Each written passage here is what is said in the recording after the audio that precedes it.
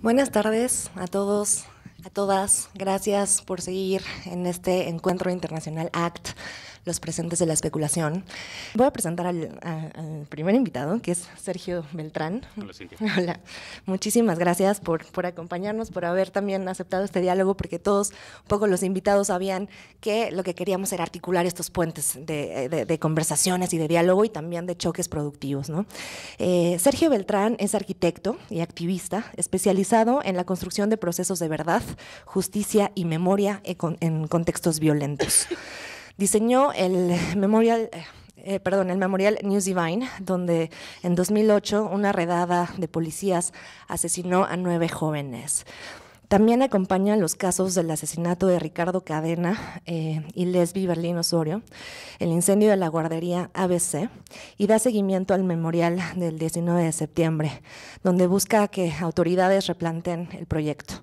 Durante la emergencia de los sismos de 2017, eh, cofundó Verificado 19S, una plataforma de inteligencia colectiva que brindó información veraz y oportuna para apoyar los esfuerzos de rescate en edificios colapsados.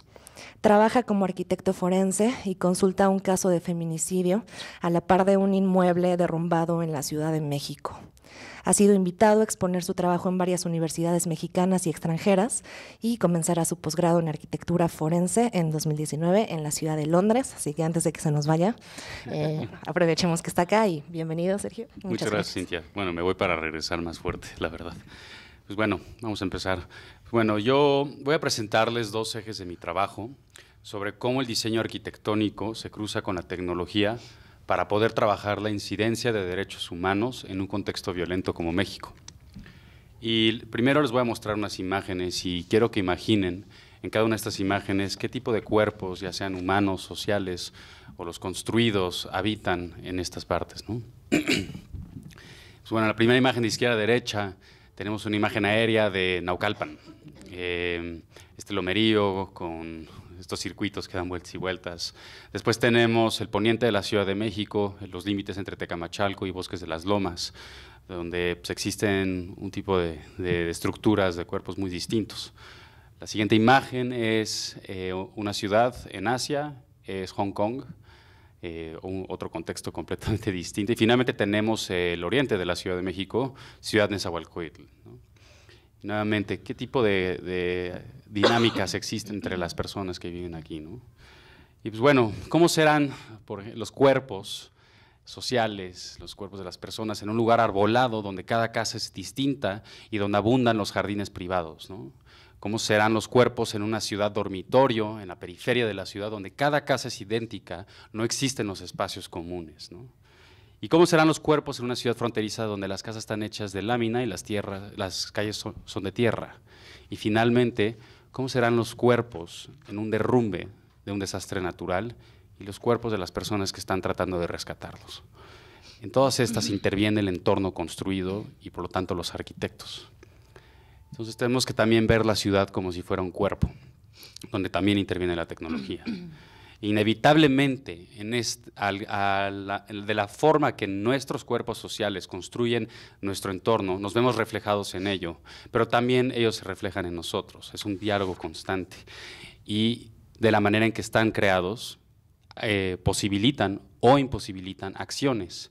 Y estos cuerpos pues, nos permiten las acciones de acoger, despojar, alimentar, violentar, entretener, asesinar, enfermar, transportar, enriquecer, aprisionar, proteger, vulnerar, enamorar, ignorar, nos usa, nos informa, nos endeuda, nos desecha, un sinfín de actividades, todas ellas dicotomías este, contrarios entre sí, son lo que nos permiten hacer los cuerpos que vamos construyendo. Y hay veces que es tan marcada la diferencia entre uno y otro que se crean este tipo de límites, ¿no? que inevitablemente generan violencia. Y ya sea que nosotros los arquitectos o los urbanistas o, los, todos los que intervenimos en, una consecuencia como esta, pues tenemos un papel en crearlo. Y a mí la pregunta es, ¿qué papel tenemos en borrar estos límites y estos factores de la violencia? Y en eso se centra mi trabajo, específicamente en el marco de las violaciones a derechos humanos en México, que es un marco legal y social muy particular. Y ahí intervienen toda una serie de, comunidades, ¿no? donde claro que primero están las víctimas, sus familiares, eh, luego están los abogados que representan a, sus familiares y las víctimas, eh, y también hay activistas y periodistas que toman estos casos y los vociferan, ya sea para apoyarlos o para que los, los olvidemos. Eh, los políticos hacen lo mismo, ya sea que legislan en contra, a favor, etcétera, etcétera. Y los artistas también tenemos un papel en reinterpretar. ¿no? Eh, pues está el proyecto este de, estado de emergencia, ¿no? que tiene que ver con feminicidio. Y entonces, los arquitectos, ¿dónde jugamos un papel en todo esto? ¿no? Y esta es la, la pregunta guía de mi investigación. Es, ¿Cómo puede el diseño arquitectónico reducir la violencia e incluso prevenirla. Y quiero mostrarles estos dos ejes que trabajo. El primero son los memoriales, concentrado en, el fenómeno de la memoria y cómo eso marca la pauta para generar memoriales. Ahorita vamos a eh, profundizaré sobre eso. Y la segunda es arquitectura forense. Estas son dos respuestas que he encontrado a esta pregunta. Primero hablemos de memoriales. Eh, y la clave de estudiar los memoriales en realidad no tiene nada que ver con estudiarlo desde la arquitectura. Yo he encontrado las respuestas en, muchísimas otras disciplinas como la filosofía, la psicología, la historiografía, la antropología, eh, eh, prácticamente todo menos la arquitectura es lo que me ha permitido estudiar los memoriales. Y bueno, antes de presentar como esta teoría que estoy desarrollando sobre cómo diseñar memoriales o objetos de memoria, quiero lanzarles una pregunta y aquí sí quiero que contesten. A ver, ¿para qué construimos escuelas? Educación. Para educación, ok. ¿Y para qué construimos hospitales? Para la salud, ok, sí. Construimos escuelas para educar, construimos hospitales para sanar. Ahora, si un arquitecto se le encargara construir, diseñar una escuela, y esta escuela tiene una serie de, de cualidades sostenibles, estructurales, estéticas, incluso filosóficas, pero no propicia la educación, ¿sirve esa escuela? no sirve esa escuela. De la misma forma, si un hospital tiene toda una propuesta, por ejemplo, los hospitales psiquiátricos han sido un género que se ha experimentado muchísimo en la arquitectura, ¿no? Eh, pero tiene muchísimas cualidades, pero al final del día, este hospital no propicia el sanamiento, ¿falló el arquitecto? Sí, sí, el arquitecto falló. Entonces, la pregunta es, ¿por qué cuando hacemos memoriales no sabemos para qué, o sea, ¿para qué son los memoriales? ¿Ustedes qué piensan? ¿Para qué son? Para recordar, para honrar. Ok, con eso vamos. Este es un memorial construido en este país. Es el memorial a la guardería ABC en la Plaza Subeldía de Hermosillo, Sonora. Desde el 5 de junio del 2009, cuando un incendio en una estancia infantil eh, acabó con la vida de 49 bebés y, e hirió para el resto de sus vidas a decenas más. Se construyó un par de meses después, se colocó este memorial enfrente de la plaza eh, del gobierno estatal de Sonora. Desde, desde entonces que se generó este proyecto, este memorial, para recordar, en estancias públicas de, de todo el país han fallecido adicionalmente 71 bebés más. A pesar de que construimos esto para recordar, sigue sucediendo la tragedia. Luego, este es el memorial a los jóvenes asesinados en Villas de Salvarcar, en Ciudad Juárez, Chihuahua. Desde el 31 de enero de 2010, en que un comando de narcotraficantes entró a una casa, a una fiesta donde estaban 15 jóvenes que fueron asesinados, siguen habiendo este tipo de ataques y eh, se estima que han habido adicionalmente 70 mil jóvenes asesinados desde que se inauguró esta plaza, desde que el gobierno federal de Calderón inauguró esta plaza. Otra vez, a pesar de que estamos recordando no estamos previniendo la tragedia. El memorial al Casino Royal en Monterrey, Nuevo León, es este. Desde el 25 de agosto del 2011, en que un comando de narcotraficantes hizo un ataque, terrorista en este casino y cobró la vida de 52 personas, siguen habiendo adultos que fallecen en condiciones y ataques similares. Se estima que alrededor de 50 mil adultos, es decir, mayores de 30 años. Y a pesar de que recordamos nuevamente, no hemos podido prevenir la tragedia. Este es el memorial a las víctimas de la violencia en México, en la Ciudad de México. ¿Lo conocen? A pesar de que en febrero del 2013 a inicios del sexenio de Peña Nieto. Se inauguró este memorial para conmemorar todas las víctimas de la violencia del, sexenio anterior, sí desde el 68 y de la guerra sucia, pero particularmente las víctimas de la violencia por la guerra contra el narcotráfico en el sexenio de Calderón. A pesar de ello, en este sexenio han habido más fallecidos, ha habido más violencia, a pesar de que tenemos este memorial. Entonces, nuevamente, estamos recordando, pero no estamos previniendo la violencia. ¿De qué nos sirve recordar el 68 y poner un antimonumento en el Zócalo si hace cuatro años desaparecieron 43 estudiantes, si siguen asesinando alumnos en Ciudad Universitaria? Los, antimonumentos sí son colocados por las víctimas, ¿no? tienen una lógica aparte, pero al final del día solo están recordando y no están previniendo la tragedia. Siguen habiendo infantes, a pesar de que está un antimonumento frente a la Secretaría de Salud, infantes siguen falleciendo en estancias eh, públicas y eh, defensores de, tierra o, personas que defienden eh, la biodiversidad del país siguen falleciendo, a pesar de que también hay antimonumentos como el de pasta de conchos frente a la Bolsa Mexicana de Valores. Recordar no nos lleva a prevenir. O sea, esto es lo que estoy tratando de evidenciar con esto. No es suficiente recordar. Los memoriales no son para recordar, nosotros construimos memoriales desde el siglo pasado porque queremos prevenir que las tragedias ocurran. Sí, queremos recordarlas, pero no es recordar por el hecho de recordar. Queremos recordar para prevenirlas. Y no están funcionando. Entonces aquí hay un problema con el diseño de los memoriales y que se tiene que atender también desde la arquitectura. Entonces, esto es como una primera como lección. El monumento sirve para recordar, el memorial sirve para prevenir. Los monumentos y los memoriales, a pesar de que se usan como sinónimos, no son lo mismo, de hecho son opuestos. Y ahora sí voy un poco a explicarles con la teoría de por qué es esto así. ¿Por qué confundimos ambos? Y tiene que ver con que apenas estamos entendiendo o aprendiendo y estudiando cómo funciona la memoria. En realidad los estudios de la memoria comienzan después de la Segunda Guerra Mundial, cuando, cuando surgen todas estas inquietudes desde la psicología y la historiografía de cómo entendemos las estrategias que nos permiten no volver a repetir estos errores. Y sigue siendo un campo en desarrollo. Y aquí quiero ofrecer un ejemplo. En esta imagen vemos representados cinco siglos de un mismo espacio emblemático que construye la identidad de todos los mexicanos, que es el Zócalo. ¿Cómo es que llegamos a construir un cuerpo que, a pesar de que ha cambiado tanto a lo largo del tiempo, sigue manteniendo la esencia de lo anterior y nos permite conectar tanto con su expresión física de hace 50, 100, 200, etcétera años. Aquí hay algo especial que vale la pena estudiar. Y otra manera de preguntarlo es, otra vez regresando a, lo de las imágenes que les enseñé al principio, ¿no? Nosotros construimos nuestro entorno y ese cuerpo arquitectónico y a su vez ese nos forma a nosotros y tenemos este diálogo. Entonces, usando como los inicios de lo que hoy llamamos el zócalo, pues primero hubo un mito de un, un grupo de personas que encontraron en el lago de Texcoco un lugar para erigir su ciudad. Este cuerpo mítico les da identidad y a su vez eh, la identidad retroalimenta ese mito, hasta que eventualmente tiene que construirse, toma una forma arquitectónica. Y quizá la generación que construye este, este eh, objeto de la memoria eh, fallece, pero a su vez ese objeto permanece e instruye a la siguiente generación, y así continúa este ciclo, este diálogo.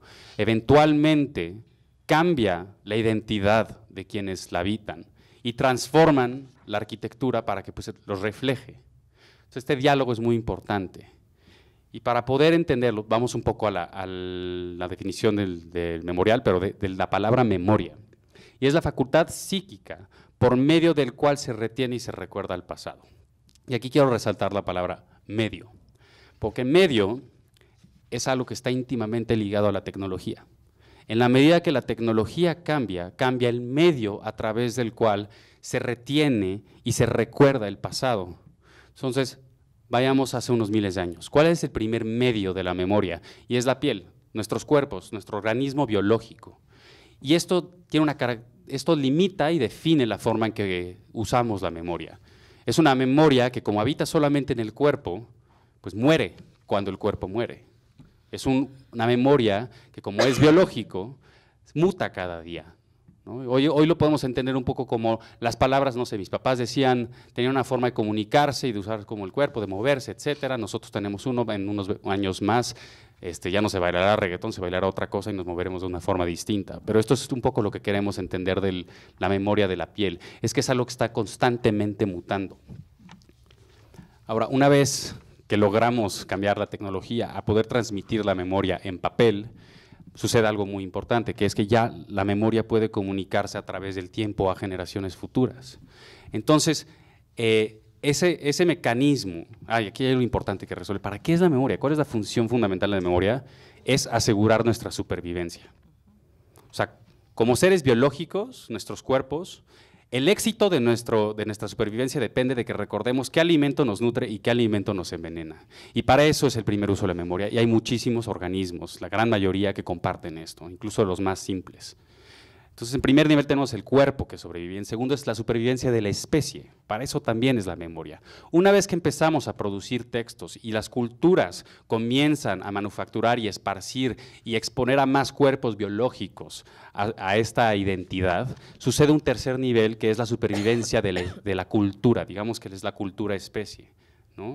Y, y lo que hace el papel es que también solo es accesible a ciertos estratos políticos, militares, eclesiásticos, etc. Ellos son los que son capaces de, crear estas identidades y de contagiarlas.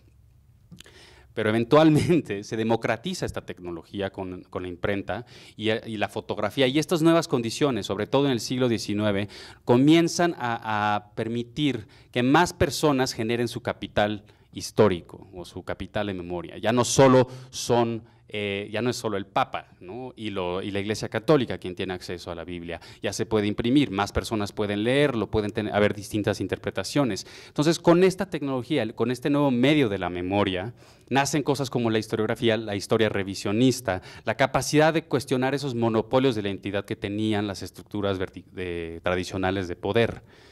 Es una forma de democratización de la memoria que es gracias a la tecnología. Y vayamos a hoy. Hoy tenemos ahora la memoria electrónica.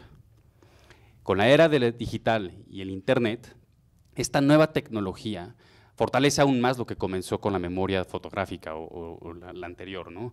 Y es algo que es una tecnología que consta, es un medio y una memoria que muta constantemente, cada día, cada momento se está cambiando. Es algo que democratiza la memoria, que demonetiza la memoria y que desmaterializa la memoria ya no es tangible. Y permite, ya no se trata de tener un cúmulo de personas para poder editar un libro, sino ya cada persona tiene los medios para poder plasmar su propia identidad hacia el mundo. Y sí, todos bajo un algoritmo común de, ¿no? Facebook, Twitter, todas estas cosas son un algoritmo y que nos, son unas estructuras que nos limitan, pero al final del día permiten que nuestra propia identidad se plasme hacia, hacia el mundo entero. ¿no? Entonces ya tenemos un cuarto nivel, era eh, el organismo, el cuerpo, la especie, la cultura, y hoy ya tenemos un nivel de la identidad como una fuerza cultural. Em, y esto es clave para poder entender por qué los memoriales que estamos construyendo están fallando. Ahora, algo curioso también sucede, es que fuimos del individuo, del cuerpo, pasamos por una serie de tecnologías y usos de la memoria y otra vez ya regresamos al individuo de nuevo. Entonces, la memoria de la piel más o menos se parece a la memoria electrónica y hay que estar muy atentos a esto. Este es un diagrama que yo hice para explicarme a mí mismo cómo, cómo, suceden estos cambios, ¿no? cómo, cómo se relacionan. Eh, conforme la, la, tecnología avanza, cambia el medio, cambia la memoria. ¿no? Ahora, el objetivo de todo esto es entender cómo la tecnología de hoy está cambiando la forma en que usamos la memoria, de tal forma que podamos destilar esos conocimientos y usarlos como conceptos para poder diseñar memoriales desde cero. O sea, ya no tratar de usar las reglas del pasado, que son las de los monumentos, sino entender qué es lo que hace la memoria electrónica distinta, como para que, para que podamos usar esos, esos conceptos para diseñar los memoriales de hoy y de mañana. Y perdón, hay tres características conceptuales que, destile de esto. ¿no? Primero es que la memoria y los memoriales electrónicos deben de ser intangibles. Y esto quiere decir que se debe de privilegiar que lo que transmita la memoria ya no sean objetos físicos como placas o estatuas, sino que sean las ideas, el diálogo, las palabras y el debate. Lo intangible tiene que ser lo que transmita la memoria. Segundo es impermanente. Y esto quiere decir que no se busque que el diseño de la memoria mantenga fija la memoria a perpetuidad, sino que permite que ésta cambie constantemente e, y sea impermanente. Lo tercero es que debe de ser irrestaurable. Y esto quiere decir que se evita que el diseño del memorial tenga un estado original y por lo tanto sea imposible restaurarlo a un estado anterior. Es decir, como está en constante cambio, no existe el original, sino el original es que siempre esté cambiando. Y en una frase, o sea, ya regresa, llevándolo como a, casos prácticos, ¿no? como yo lo aplico cuando estoy trabajando con víctimas de violencia, se trata de recuperar el pasado para que no se quede en el pasado como un recuerdo, sino recuperar el pasado para que se pueda reinterpretar en el presente. Cómo esas causas de fondo de la tragedia que, que dieron pie a una tragedia en el pasado existen hoy y de tal forma que esa reinterpretación que podamos hacer hoy siga pudiendo transformarse en el futuro y mantenerse relevante. Ahora, esto me lleva a una serie de, ya cómo, cómo, es como la fórmula para, fórmula para diseñar un memorial contra un monumento. Pues esas son las siguientes diapositivas. Y, he desarrollado este diagrama para tratar de explicar una mejor forma. Lo primero es entender que la materia prima del monumento es la historia. Es decir, esos documentos oficiales de esos poderes políticos, eclesiásticos, económicos y militares de donde se destila el significado, que son inertes, que si no eres un experto no tienes una forma de modificarlos. El memorial, sin embargo, utiliza esa memoria de la piel y electrónica, esa que es de nuestros cuerpos individuales y sociales, para comunicar mensajes. Otra forma es que el monumento ocupa, ocupa el espacio para no permitir que otro objeto o interpretación exista. El memorial, el memorial, al contrario, lo que hace es crear espacio para que otros cuerpos o nuestros cuerpos le otorguen significado a ese espacio y que cuando nuestros cuerpos lo abandonen se vacíe y los cuerpos de mañana puedan llenarlo y darle un nuevo significado y así sucesivamente. Lo importante del memorial es la envolvente, no el objeto que lo ocupa, como el zócalo. O sea, lo importante es la envolvente y lo que sucede allá adentro, pues eso es lo que cada quien le va agregando. ¿no? Ahora, para explicarlo un poquito mejor. ¿no? El monumento es un, objeto que se gesta entre muy pocas voces, en espacios excluyentes.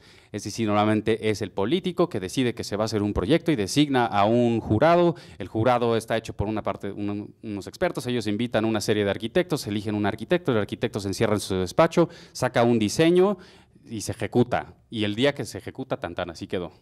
Pero el memorial desde el inicio comienza con diálogo entre muchas voces, en espacios incluyentes. No solamente los actores tradicionales, tienen que estar en primera instancia los agraviados, ¿no? Desde ahí empieza.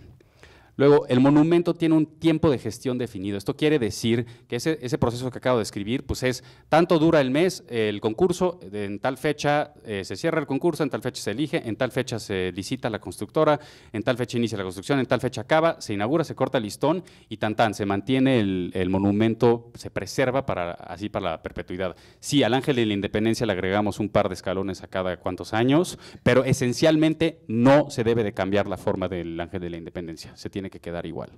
El memorial tiene un tiempo de gestión indefinido. Desde que inicia el diálogo, realmente nunca termina de construirse, y siempre, porque siempre está en constante cambio, nunca tiene un fin. El monumento se enfoca en los eventos y en el tiempo, en qué pasó, cuándo, dónde y quién. ¿no? Y eso es lo que tenemos que recordar, apuntarlo en nuestro, ponerlo en el monograma y llevarlo de tarea. El memorial se enfoca en entender el contexto de, lo que está conmemorando. ¿Qué, tipo de personas viven aquí? ¿Qué tipo de factores socioeconómicos y culturales existen aquí? Como para que hablemos de eso. Y, de esa forma no se quede como un dato histórico, sino que pueda ser relevante en el presente. El monumento eh, se acepta pasivamente en sociedad. Una vez que se coloca en el espacio público, pues es nuestro ángel de la independencia, pero realmente no le pertenece a nadie. O sea, es ahí nada más está puesto. El memorial exige que se ejerza, no, no que pertenezca, sino que se ejerza activamente como si fuera un derecho, que se apropie y que sea una pertenencia colectiva. El monumento es un objeto que solo se observa y su significado no está abierto a la interpretación. Pero el memorial tiene que reciclarse constantemente y su significado siempre está en movimiento. El monumento tiende a la escala monumental, más grande que el cuerpo humano, para que su mensaje pueda ser visible por la mayor cantidad de gente posible.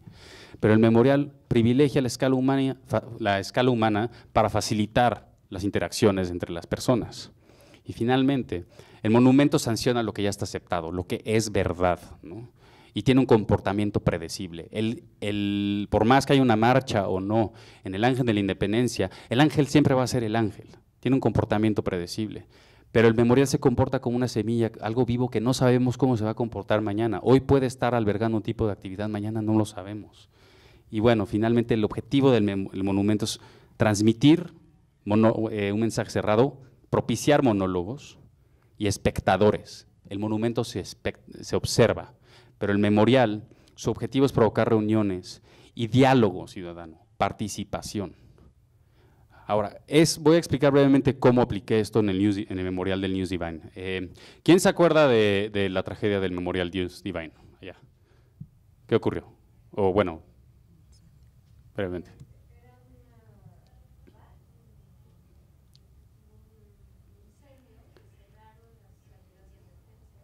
Okay.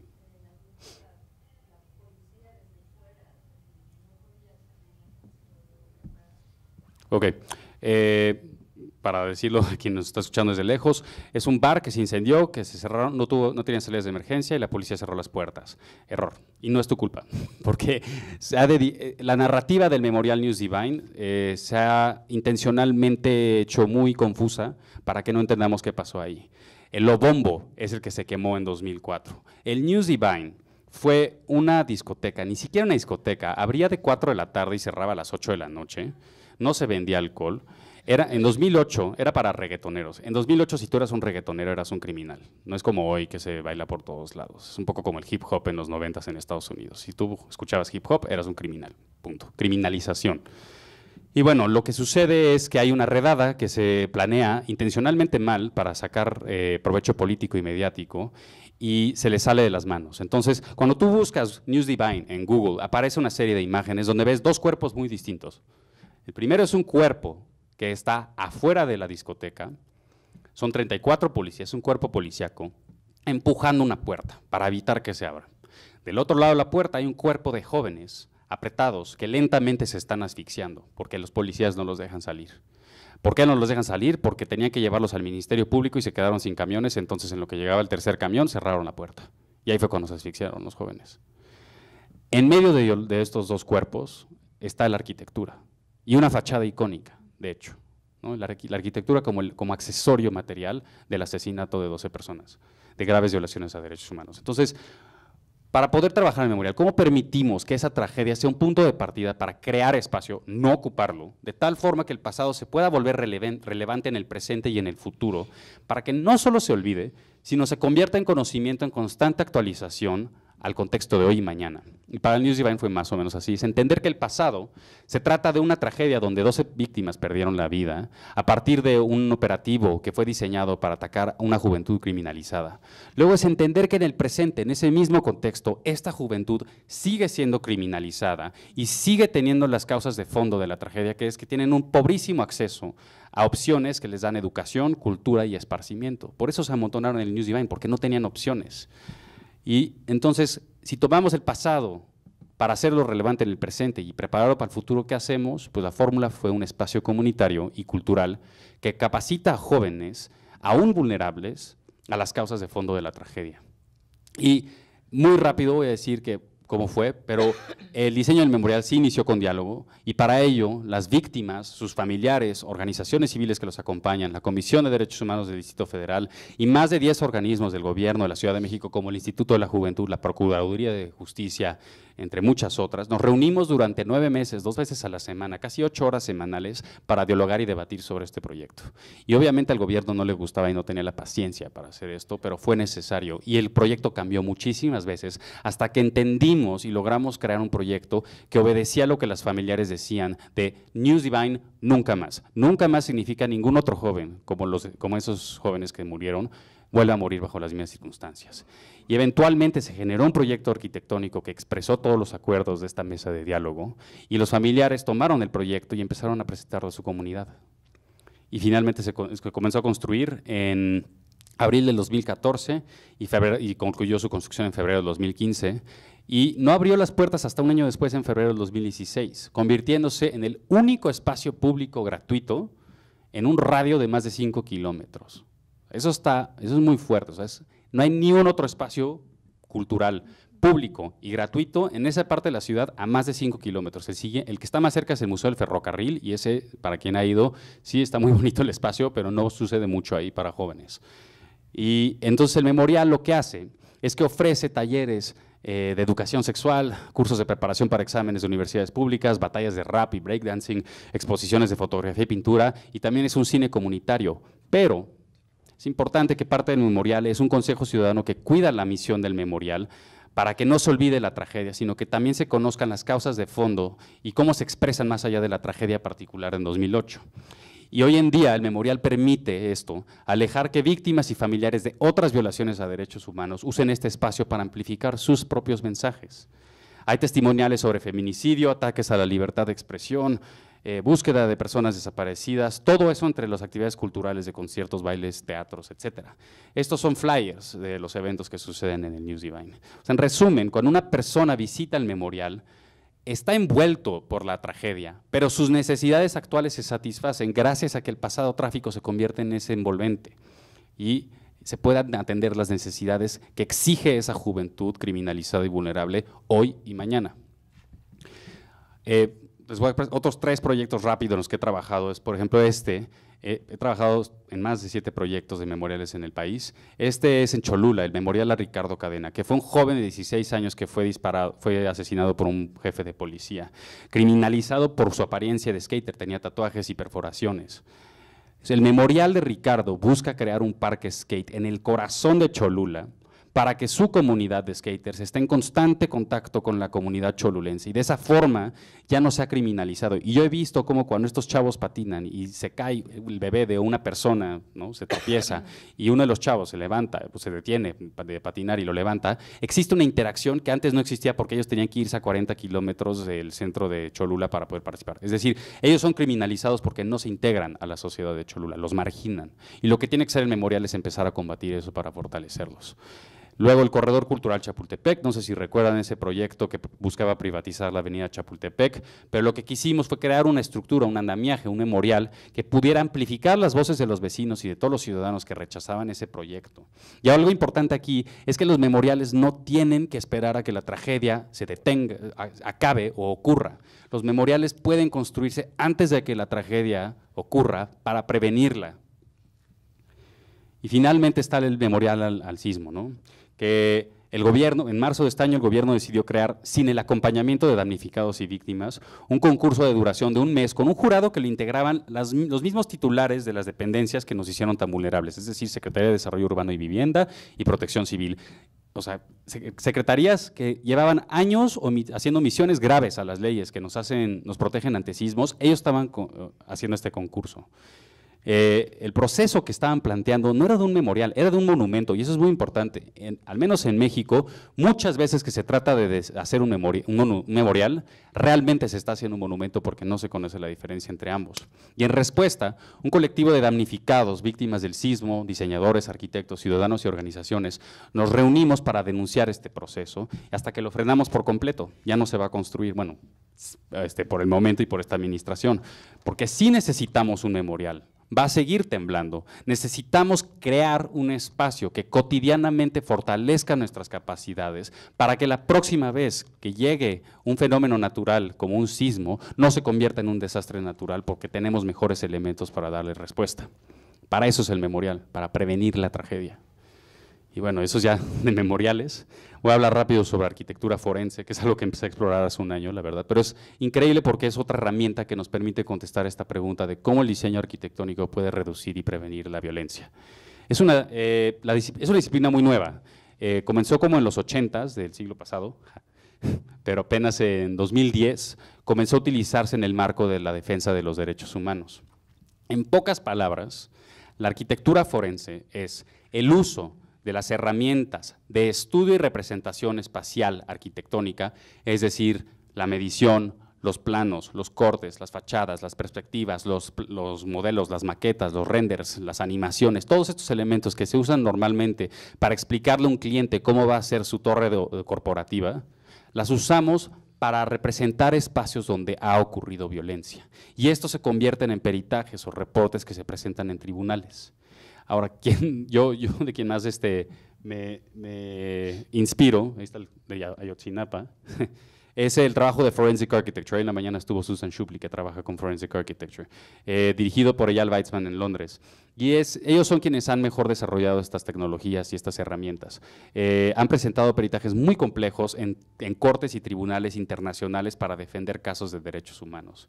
Y sí les recomiendo mucho que revisen el, reportaje que, prepararon para Yotzinapa. Para quien todavía no entiende o no tiene eh, qué pasó esa noche o no tiene el tiempo para leer los dos tomos del reporte del GIEI, ese video de 18 minutos les explica perfecto qué sucedió.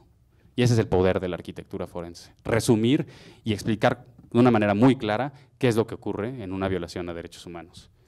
Eh, y hay un concepto central en la arquitectura forense que es destilar de la raíz de lo forense, del forensis, que quiere decir eh, traer los cuerpos ausentes, tanto de quienes fueron violentados como los perpetradores de la violencia, a la presencia del foro jurídico que son los tribunales. Traer esa ausencia del pasado, ya sea temporal o espacial, presente en el tribunal. Y la tecnología es fundamental para poder lograr esto a través de nuevos medios como realidades mixtas, el escaneo 3D, eh, la fotografía digital, los modelos arquitectónicos, en 3D, el video digital, la edición y la animación, todas estas herramientas tecnológicas son las que nos permiten ser elocuentes a la hora de preparar arquitectura forense. Y les voy a presentar una versión muy editada y censurada de un peritaje que he elaborado, eh, censurado porque sigue siendo parte de una carpeta de investigación de un, proceso eh, que todavía está en litigio. Y bueno, el objetivo es de dejar muy claro dónde es el espacio, quiénes son los actores, a qué hora sucedió. O sea, todas estas cosas que a veces sería muy difícil presentar a través de testimoniales, es utilizar la arquitectura para poder dejarlo muy claro. ¿no? Y, bueno, o sea, este peritaje al menos fue fundamental para que el Ministerio Público de la Ciudad de México cambiara su versión de que la víctima de este, eh, de este feminicidio se suicidó. ¿no? Esa, era, esa era la teoría del Ministerio Público. Después de ver esto, ya no tuvieron elementos para negarlo, ¿no? tuvieron que aceptar que había sido un feminicidio y pues bueno, en eso estamos. ¿no? Y ese es el poder de la arquitectura forense también, es poder trabajar en el ámbito de la justicia, eh, pues buscar la, eh, realmente qué pasó. Entonces regreso, a, ya, ya estoy terminando, regreso a mi pregunta de cómo puede el diseño arquitectónico reducir la violencia y, prevenirla, pues es usando también la tecnología y entender cómo eso interviene y representa y trae a presencia los cuerpos de quienes han sido violentados eh, y es entender que la arquitectura tiene un papel no solo en la creación, sino también en, lo contrario, de la violencia y, sobre todo en el marco legal de, los derechos humanos, eh, de la reparación de los derechos humanos en México, donde, se habla primero de verdad, donde la arquitectura forense tiene un papel. ¿Qué, es lo que qué es lo que sucedió? Justicia, cómo en los tribunales podemos lograr y, que la arquitectura eh, logre que quienes son responsables de las violaciones a derechos humanos sean sancionados conforme a ley, y memoria, de donde es no solo recordar, sino generar garantías de no repetición, que significa que ya no repitamos y se prevenga la tragedia y esa violencia. Muchas gracias.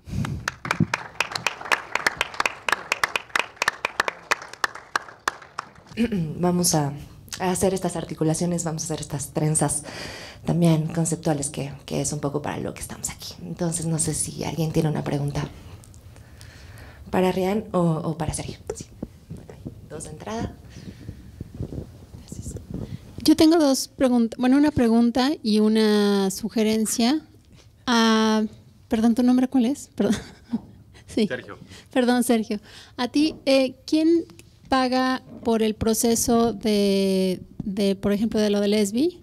Es posible gracias a las organizaciones de defensa de derechos humanos eh, en este caso del feminicidio de Lesbi, es el Centro Victoria de Derechos Humanos, eh, quien hizo un trabajo increíble de articular un equipo multidisciplinario de peritos, entre los cuales me encuentro yo.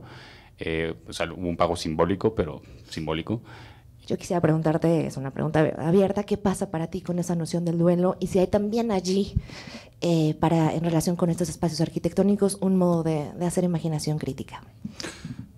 Bueno, empezar con lo de la imaginación crítica. Eh, no, no, realmente lo, he pensado como en términos de eso, pero sí se, el, trabajo de hacer un memorial, me enfoco en los memoriales, es apostar en que la experiencia subjetiva y muy personal de cada persona que visita el memorial detone una serie de reflexiones que, que no se centren en el, en el hecho del pasado, sino que entiendan cómo el potencial de esa tragedia existe en su propia vida.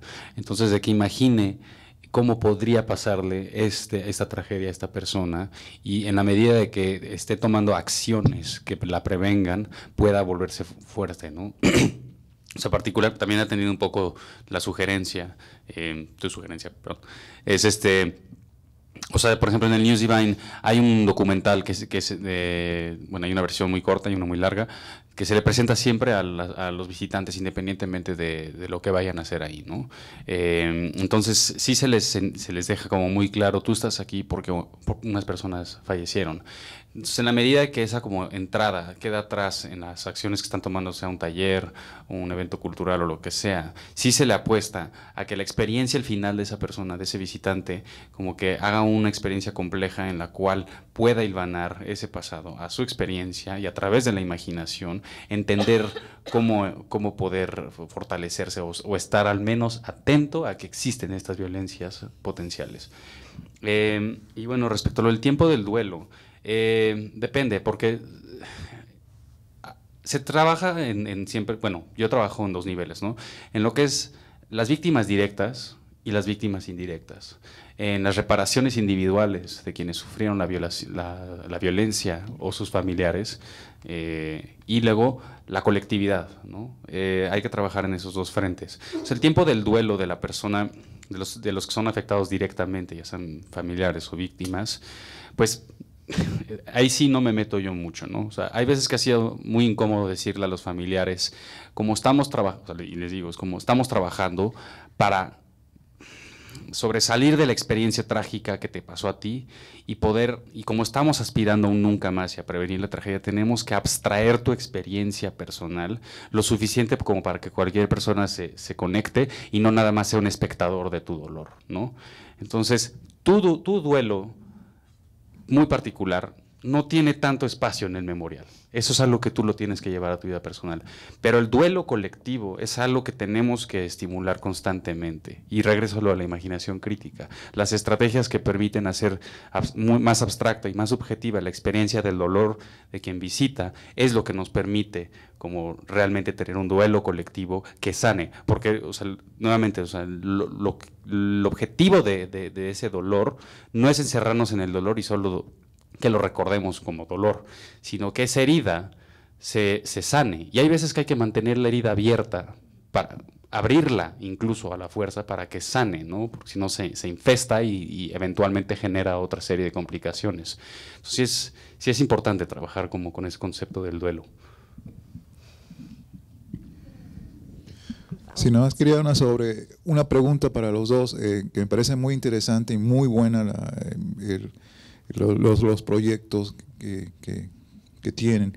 Pero, y, lo que yo quería preguntar es, en esta relación de cuerpo y arquitectura que habías mencionado el arquitecto Sergio, y en la relación de los cuerpos ocultos por los espejos que no tienen cuerpo entero, si se ha pensado, esa es mi pregunta, la implicación tan importante para nuestra sociedad mexicana, para nosotros, que el mexicano no tenga una presencia de su cuerpo en la relación del arte, es decir, una, autoconciencia de su cuerpo y su presencia, por eso pueden desaparecer 200 mil personas y no, nadie sabe dónde están.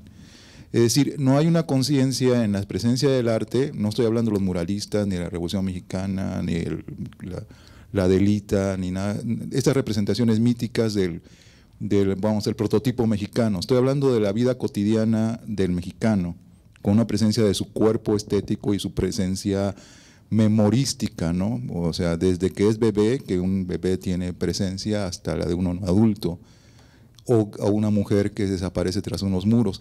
Entonces, solamente quería preguntar sobre si hay una reflexión global de la sociedad mexicana por su no presencia de sus cuerpos en las manifestaciones del arte de la vida cotidiana. Em, pues, pues también siguiendo de, o sea, casi todas las víctimas con las que yo trabajo, bueno, también haciendo una lectura muy general de las víctimas de la violencia en México, o sea, la, violencia azota diferencialmente eh, o sea, si tu color de piel tiende hacia lo moreno, pues eres mucho más vulnerable. Pero también, curiosamente, en los memoriales que yo he estado trabajando, casi todos son personas menores de 30 años, ¿no? Entonces también es como una falta de, o sea, hablar de que el mexicano no tiene la capacidad de representar su propio cuerpo creo que es muy general, pero o sea, sí hay como ciertos elementos que nos dan claves a dónde están los problemas. Y, en el caso de los jóvenes es que sí vivimos, y es parte de un contexto global, de una sociedad que, en la que los infantes, los bebés de la guardería BC, no son visibles porque no son útiles en tanto se conviertan adultos. Los jóvenes como Ricardo, que era un skater, no era útil para la sociedad o visible en tanto no se convierte en un... Este, persona trajeada o, un economista o algo así. Los reggaetoneros del este, chacas del News Divine no eran útiles ni visibles hacia la sociedad ni a la justicia, en tanto no se convirtieran adultos. Entonces también esta onda del adultocentrismo es como algo que nos, nos, crea muchos problemas para representar las vidas de quienes son mayoritariamente los, las víctimas de la violencia en México, que son jóvenes o, bebés, ¿no?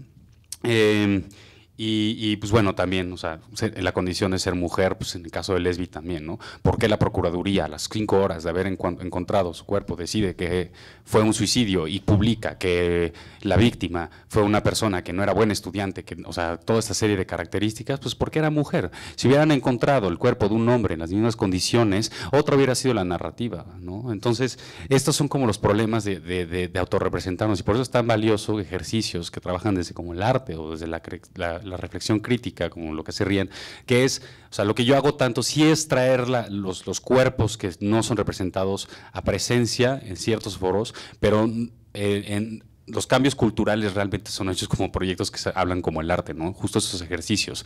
Y lamentablemente también nos hemos estancado en la representación de la, identidad del mexicano, como que se quedó estancado en los 30, en el muralismo mexicano, en esta raza de cobre.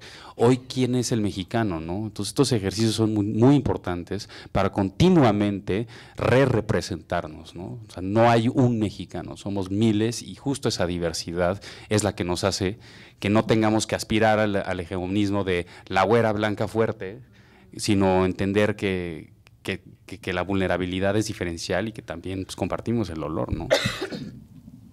Yo tengo eh, aquí abajo. Ah, eh, es muy general en realidad. Muchas gracias por la participación tan eh, completa y compleja en todos los sentidos, ¿no? tanto intelectual como energético y emocional mi pregunta es un poco alrededor de este concepto de especulación y viniendo desde donde vienen y estando en el contexto en el que están y en el que cohabitamos en México, eh, creo que hay como esta disonancia, ¿no? Por un lado estamos viendo esta realidad tan cruda y tan dolorosa que se vive y por otro lado creo que están ofreciendo como una salida que, que de alguna manera es bella, ¿no? Es bonita, quizás da esperanza. Y, hacia dónde podemos especular, hacia dónde especulan ustedes, eh, qué viene, qué, qué, podemos hacer, qué, qué está pasando, qué, qué futuro transformativo podemos imaginar. Em, yo creo muchísimo en el espacio público. Y de hecho, o sea, los, los, memoriales para mí es otra forma de llamar un espacio público. O sea, mi, mi esperanza está en seguir apostando por crear espacios de calidad en la que, o sea, no hacer centros comerciales.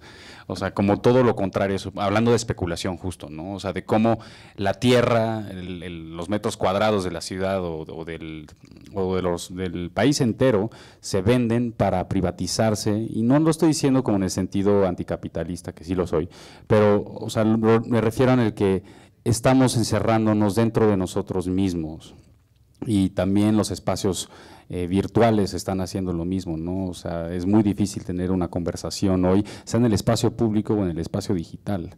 Entonces, mi fe está en entender estos problemas y por eso yo, yo tengo fe en los memoriales, como una expresión en un espacio público donde podemos compartir nuestro dolor, donde podemos volvernos fuertes y donde podemos eh, pues tener todo tipo de actividades. Y por eso también el Zócalo para mí es un referente tan importante.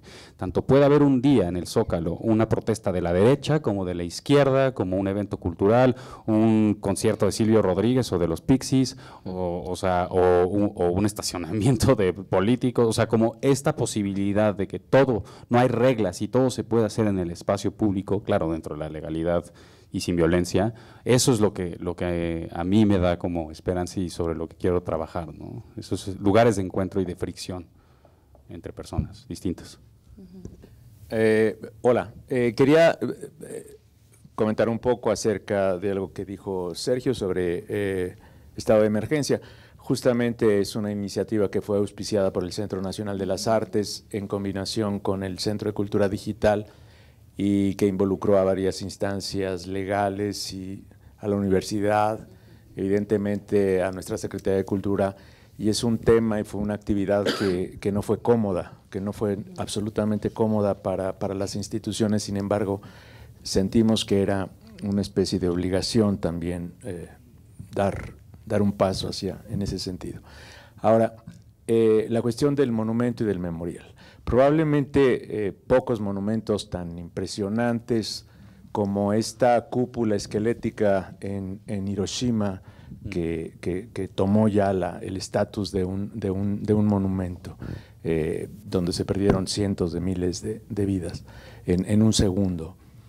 La cuestión del memorial y la pretensión, no pretensión en mal sentido, pero la pretensión de poder evitar o de poder eh, disuadir o de poder, no recuerdo cuando hiciste la, presentación, este, el memorial, ¿a qué, a, qué, ¿a qué correspondería? Como una especie de, evitar que se repita. Eh, por supuesto que hay que dar atención y cabida a las, a las víctimas colaterales de eventos aislados, pero difícilmente, que la labor es muy valiosa, podría llegar a cumplir con una meta que me parece que queda demasiado alta. Eh, esa meta tendría que ser más bien, esa, esa, finalidad se lograría incidiendo en políticas públicas y sobre todo en cuestión de educación a, otro nivel.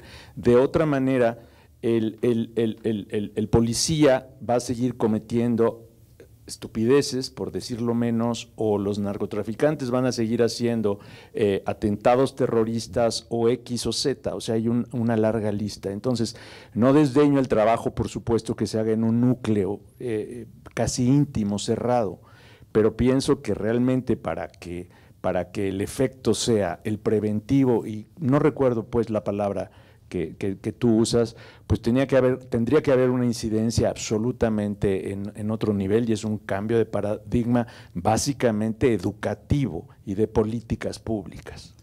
O sea, de, hecho, yo ya, yo ya transicioné, yo ya no vuelvo a diseñar un, un, un, memorial como arquitectura física. La verdad es que yo ya estoy buscando más bien crear espacios que creen espacio. Este, Actualmente yo lo que busco es articular autoridades, víctimas, organizaciones, para generar procesos de diálogo que eventualmente detonen un concurso arquitectónico, pero yo, yo, yo busco más el crear el espacio donde, donde se genera eso. Y de hecho, una de las primeras reuniones que tuve con los familiares de la guardería BC, eh, a mí me quedó muy claro, es, yo les decía, es que ustedes ya tienen su memorial. Su memorial es la ley 5 de junio esa, esa normatividad que debería de asegurar que todas las estancias infantiles en todo el país tengan los, requerimientos de seguridad necesarios para que se proteja la infancia, eso es lo que va a prevenir la, tragedia. Entonces, cuando hablo de memoriales, y eso es lo que se me olvidó decir, no estoy hablando exclusivamente de espacios físicos, de hecho estoy hablando de espacios institucionales, legales, culturales, educativos. O sea, se habla de trabajar desde la cultura, porque si se trabaja desde lo político, lo económico, el cambio realmente es muy poco, o sea, el, giro que podemos dar es muy poco. Entonces también es una concepción de la arquitectura desde crear, literalmente para mí, o sea, el arquitecto que yo quiero ser, o que estoy buscando ser, es el arquitecto que genera el espacio donde se encuentren estas personas para que dialoguen. y luego ellos van a crear un memorial, ¿no? Y una ley o, o, un programa, o, sea, o lo que sea. Este, entonces, concuerdo completamente, ¿no? O sea, no, no es suficiente aspirar con crear un espacio físico porque se reduce mucho. Tienes que estar presente en ese espacio. Y también aprovechando que estamos aquí por tecnología, es no desestimar en lo absoluto la capacidad de la arquitectura virtual. La capas, o sea, no sé, no sé si alguien pudo ir a Carne y Arena, pero este, este, esta pieza artística que hizo Iñárritu, o sea, el poder transportarte usando la tecnología, a meterte en los pies. Y esta, para mí la arquitectura, la realidad virtual o las realidades mixtas son una máquina de empatía. Son la capacidad de poder meterte en una narrativa de una persona que tiene una realidad completamente distinta a ti. Claro que tiene el potencial para manipular y utilizarse para cosas completamente negativas, ¿no? Pero también eso es arquitectura. Y los memoriales también tienen que trabajar con eso. Los datos, eh, las visualizaciones de datos, todo el periodismo de datos, eso es arquitectura virtual. O sea, el poder intervenir espacios públicos agregándoles una capa, regresando a lo que decías, ¿no? O sea, la, proyección eh, de, imágenes, el 3D mapping, como se le llama, es una forma, pero también no desestimar la realidad aumentada y todos los dispositivos que tenemos, como para poder también generar esas arquitecturas que también son memoriales, ¿no?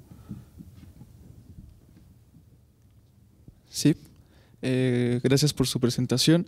Mi pregunta es para abordar em, algo que tiene que ver con su quehacer específicamente. Ustedes han he estado trabajando con estos cuerpos otros, em, que bueno, los podemos ubicar rápidamente porque son del cotidiano, son víctimas, son cuerpos desaparecidos, son cuerpos ocultados, em, pero del otro lado, desde donde se especula, desde donde se actúa, que es su lado, em, ¿cómo negocian ustedes la distancia con esos cuerpos? y también desde qué posición política lo hacen, cuáles son sus compromisos y si eh, contemplan alguna dimensión ética al respecto eh, y cuáles son estas, si podrían abordar como más bien estas dimensiones que no percibí del, todo. Bueno, en mi caso, em, estoy en el proceso de llegar a profesionalizar lo suficiente mi trabajo como arquitecto como para que se sostenga y junto con eso poder pagarle a un terapeuta por todo lo que hago, porque tengo también cero distancia con las personas con las que trabajo. Pero eso está bien. Eso está bien, pero también, por ejemplo, en el sismo, o sea, sí tuve estrés postraumático ah, mal. Sí, sí. O sea, sí me deprimí terrible.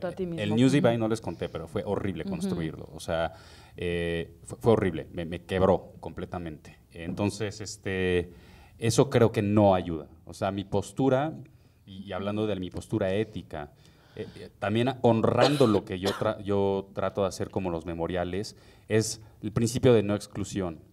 Aunque hayan personas que tengan posturas que, no me, que personalmente a mí no me gusten, yo estoy trabajando para crear espacio, no ocuparlo con la postura que a mí me convenga o que a mí me agrade. Eh, yo soy imparcial, pero no soy neutral a la hora de estar trabajando, o sea, necesito, o sea, sí tengo una postura política, ¿no? Em, o sea, un poco como lo que estamos hablando, o sea, yo tolero todo menos lo, menos lo que es intolerante, ¿no?